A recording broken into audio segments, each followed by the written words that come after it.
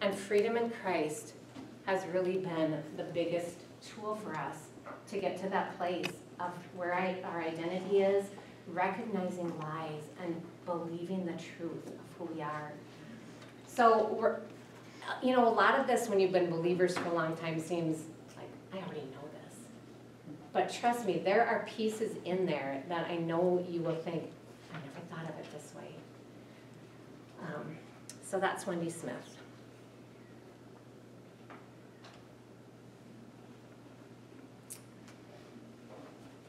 What is freedom in Christ?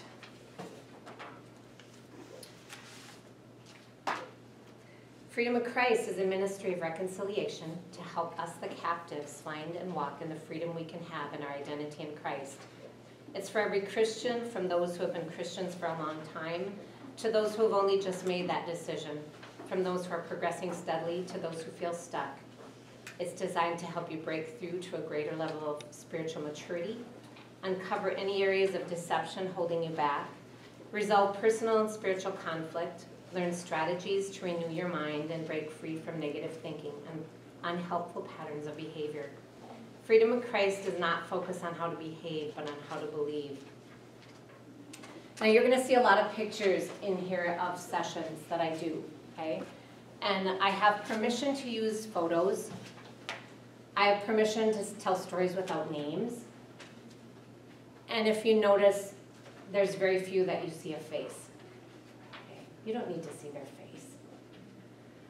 Um, this little girl came to me and she was abandoned by her father at a very young age. Her mother was in and out of jail.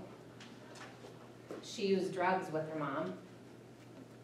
She had resorted to cutting and self-harm and had been in and out of facilities.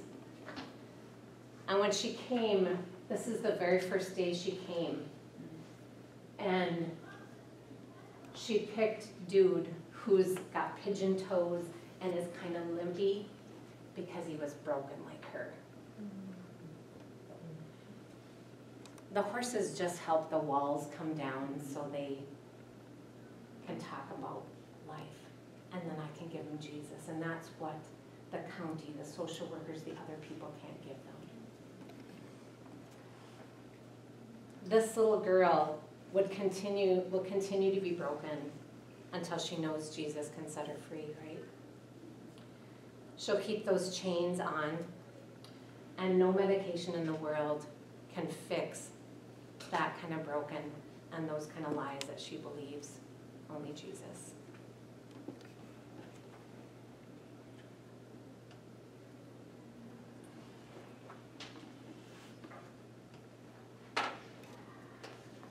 The original design.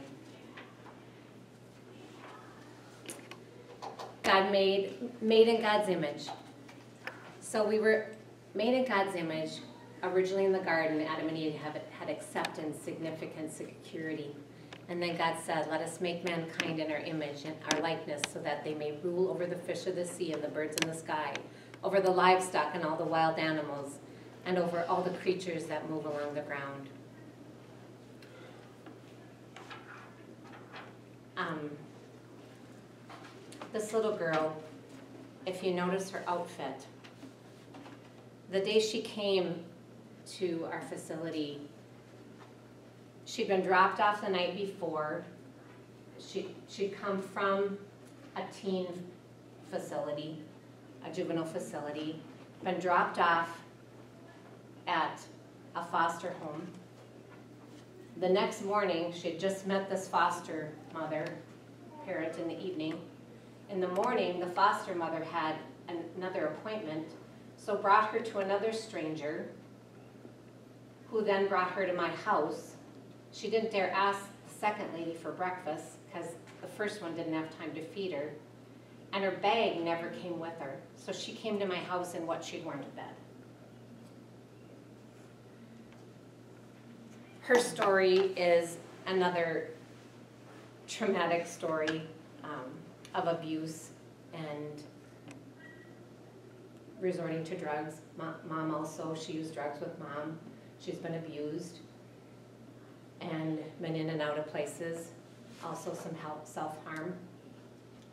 And I just loved her that day.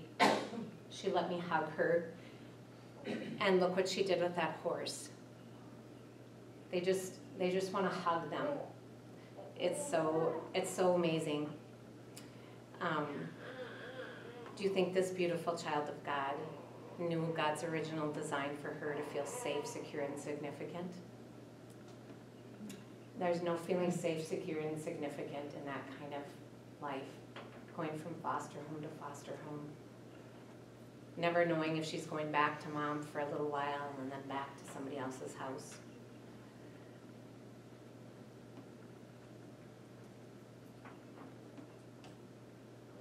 The fall. But you must not eat from the tree of the knowledge of good and evil, for when you eat from it, you will certainly die. And what was the first thing Adam said after they sinned? I was afraid. So, in the garden, I think of not just Adam and Eve, but I think of the animals. So, when did fear happen for that horse? Were all the animals in the garden at peace with each other if it was perfect? There was no prey animal or predator. So it doesn't really tell us for sure, but I would assume that fear came for them when it came for us. And now they are prey animals and they are born with fear that something's going to eat them. And until we build their trust, they look at us as predators. So that's another piece that I use with the kids that you are like their little God. And it can, it can, you can also talk about that relationship with their Heavenly Father as well then. How much He loves you and how much He wants you to put your trust in Him. It opens so many doors to talk about faith. So the consequences of the fall obviously are that acceptance turned to rejection, significance was replaced with guilt and shame, security turned to fear, and spiritual death and blindness happened. And you know, I always thought about Adam and Eve, and yeah, they sinned. But do you ever really think about that? That because of us being born into sin, we automatically have those things. We have guilt, shame, rejection, and fear from the time we're little. And all we want to do is gain acceptance somehow.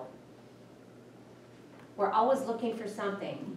Like I said, it's our kids, our husband, it's alcohol, it's drugs, if you've got trauma. We go to something to get that sense of peace that we can only have with Christ. This picture reminds me of us. So we're born spiritually blind and dead. And I can look at people differently when I think of them, think of us as dead people walking, right? Until we know Christ, it says we're walking in darkness. So we can love people differently if we see them as Jesus does. Until they know Christ, we are just walking in darkness, like this horse. Um, so we buy into a lot of things I have so many little kids now crippled with fear and anxiety. And where is it all coming from? The root is the enemy for so many things. We know there are clinical things in a fallen world that we need medication for, but there are so many things that are just because we buy into the lies of the enemy and we don't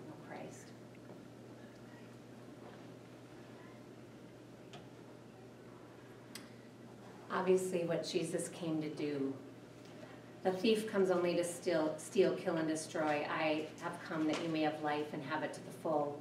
He who has the Son has life, and he who does not have the Son does not have life. 1 John 5 12. Eternal life is not just something we get when we die, it's a whole different quality of life right now. And I think the biggest thing for me, when I look at that, I look at that differently now. Jesus came to die for me. He died on the cross, he rose from the dead. I'm a sinner saved by grace. What does that make you feel like?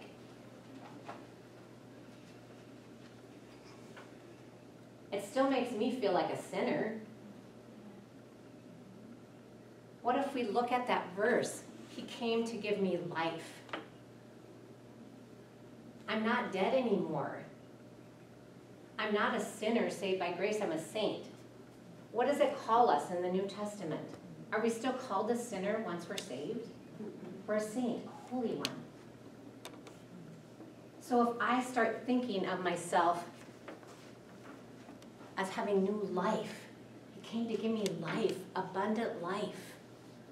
I'm no longer going to stay in that place of, I'm just a sinner. What, what does that do? That I'm just going to sin then. If I think of myself as a saint, I'm more likely to believe that and walk in that. And believe that my Father can keep me there, right? So who are you? While we were yet sinners, Christ died for us. Therefore, if anyone is in Christ, he's a new creation. The old is gone, the new is here. For you were once darkness, but now you are light in the Lord. So we can't be both darkness and light, can we? We're either light or darkness. Yeah, we still have a old Adam that wants to rear its ugly head, right? We have a sin nature,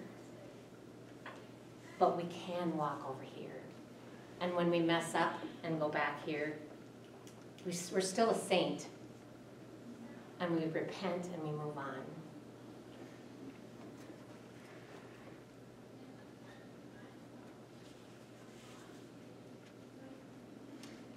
So that I use this photo because it kind of reminds me of that tug of war. And yeah, we become new creations, but is that old Adam and that new creation. And the other piece, the other analogy I like to use is a computer. When we become Christians, we don't erase the hard drive. I wish we could. Wouldn't that be great if we could just delete the past?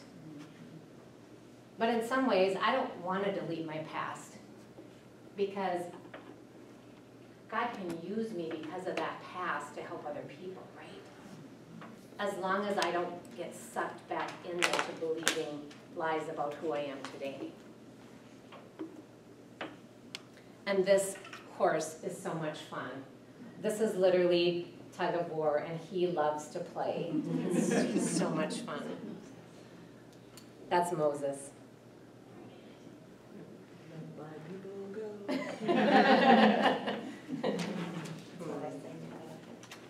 so, what is faith? We all have faith in something. Is the object of our faith Jesus?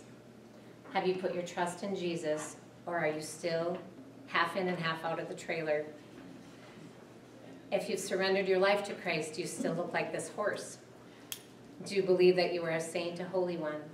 For all of you who are baptized into Christ have clothed yourself with Christ. And that's where, when I made that decision for Christ, for so long, I was still that way. I just had those two feet in the trailer because I didn't trust. I didn't trust that he really had my back, that he promised he would take care of me. I still relied on me instead of surrendering to him.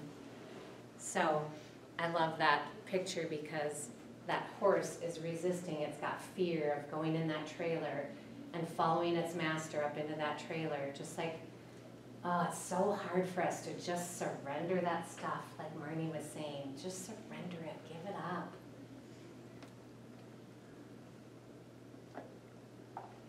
Truth.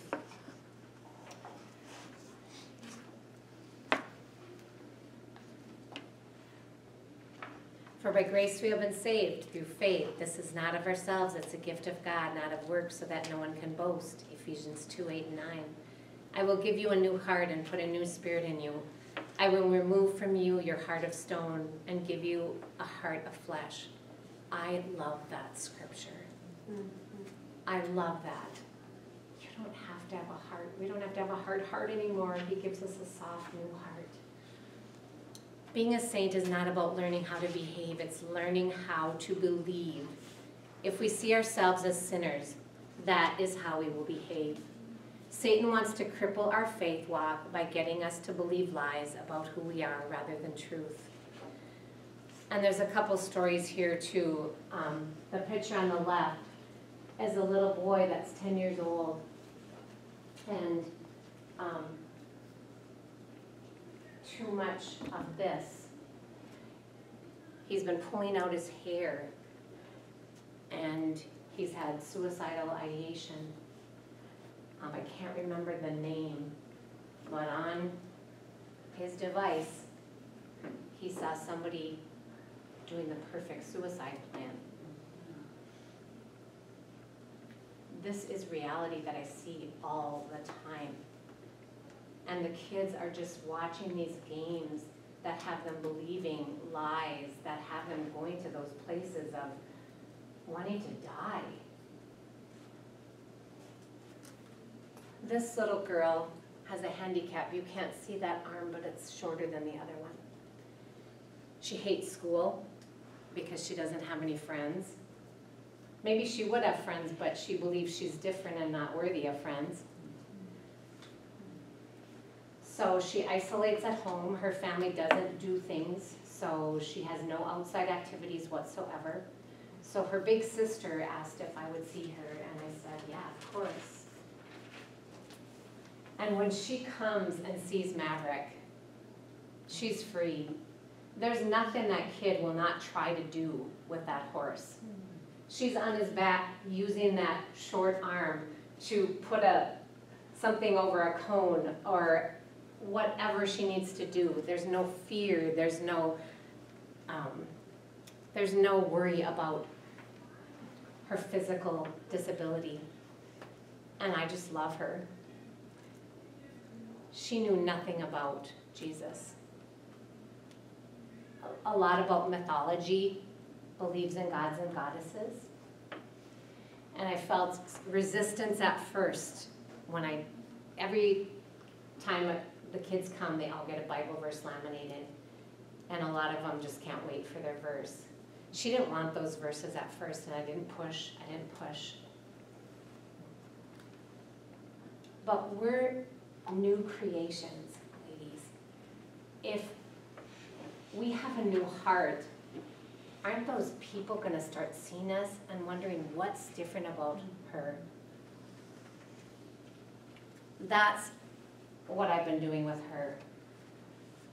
And every day that I go out to do a session, I used to plan them. I used to plan it all out. Now I say, God, I have no idea what that kid needs to be, but you do. I do not know what's in their heart, but you do. Just make me a vessel for you.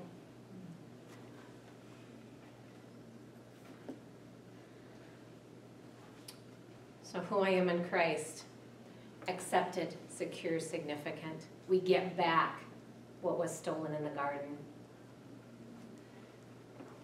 In your packet, I don't know, like on page three, um, there's a list of who I am in Christ. I gave you a lot of stuff in there for homework and really look it over. If, um, we'll talk a little bit about strongholds and lies, but if you identify a place, read those truths. And if one of them doesn't feel true, read it every day for 40 days until you believe it.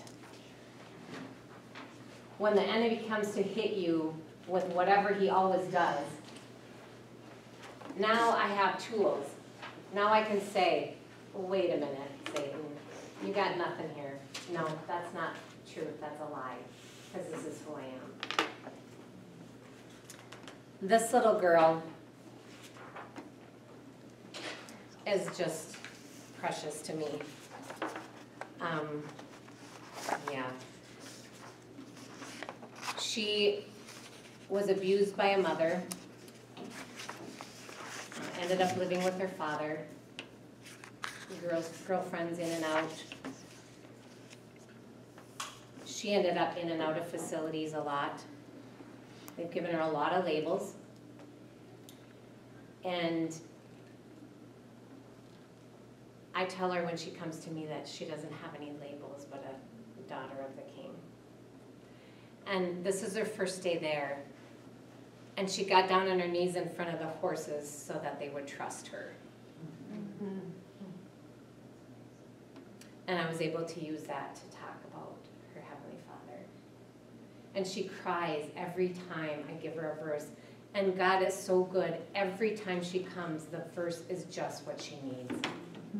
It has nothing to do with me, it has everything to do with Him. Object of our faith. Without faith, it is impossible to please God because anyone who comes to Him must believe He exists and that He rewards those who earnestly seek Him. Hebrews 11 6. If you want to know what someone really believes, don't listen to what they say, but look at what they do. Isn't that the truth? We can say a lot of things, but our actions tell what we really believe in our hearts. The words that come out of our mouths tell what's in this heart.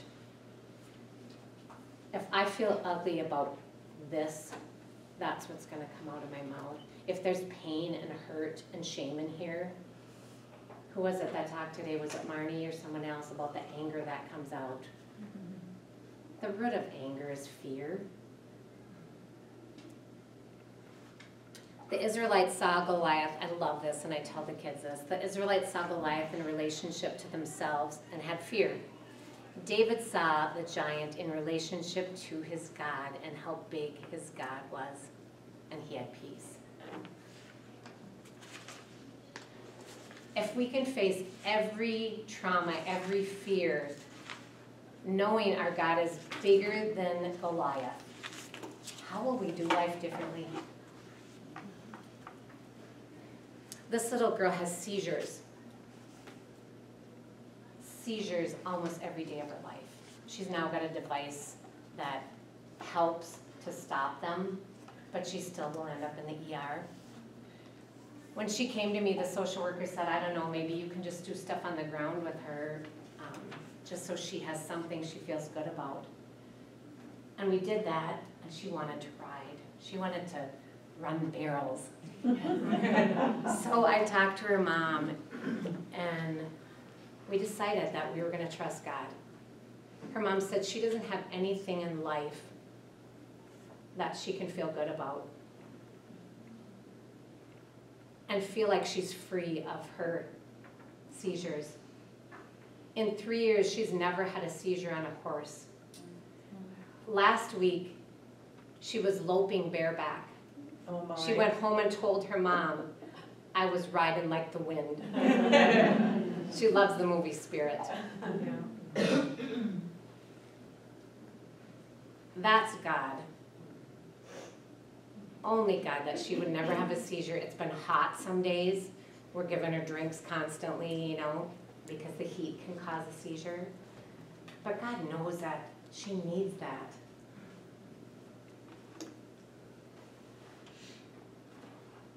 Faith in action.